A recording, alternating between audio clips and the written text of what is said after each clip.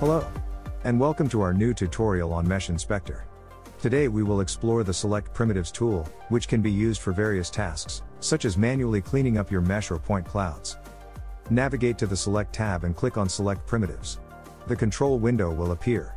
Depending on your needs, you have different selection options available here. The lasso selection mode on the lasso tab is helpful for drawing a freeform border around a selected object within a model or point cloud. You have two options for selection. Select back faces. This option enables the selection of faces hidden or oriented away from the camera view. Select only visible. This option allows you to select only visible faces or points, excluding those obscured by other elements.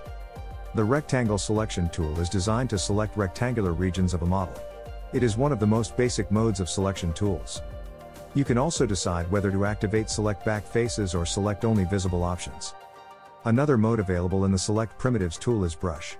This mode uses a brush to paint out selected regions. You can set a brush radius for better precision and convenience. Also, selection enhancement select back faces and select only visible are available. The last tab is pick. It allows you to select faces or points under your mouse by clicking on them.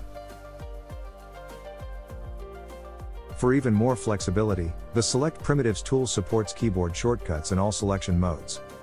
None. Deselect your previous selection. Hold Ctrl. Add more faces to your selection. Shift. Remove faces from your selection. Shift plus Control. Invert your selection. And here you have it. Now, you can easily select your areas of interest and clean up meshes or point clouds. If you have any questions, don't hesitate to explore our help section or contact us at support at meshinspector.com.